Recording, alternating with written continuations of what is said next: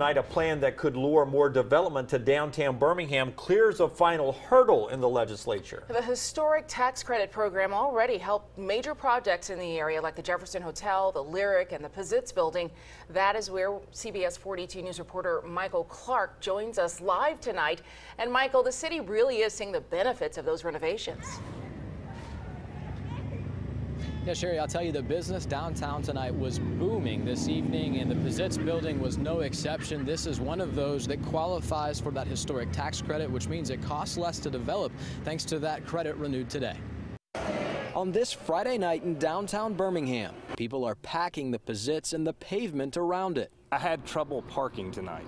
I had to park four blocks away. Um, that's a great thing. The historic building is just one example of properties that qualified for a tax break over the last five years, an initiative that's encouraged developers to invest in older buildings in the heart of Magic City. There's been a tremendous amount of usage uh, of that credit. Uh, Birmingham had a total of 21 projects.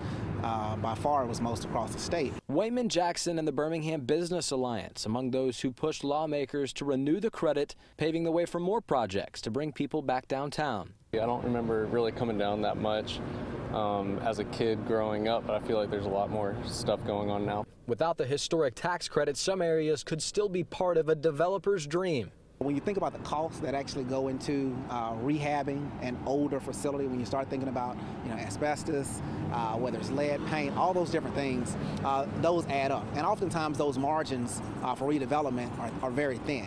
Many people are glad Birmingham will be using its past as a part of the future.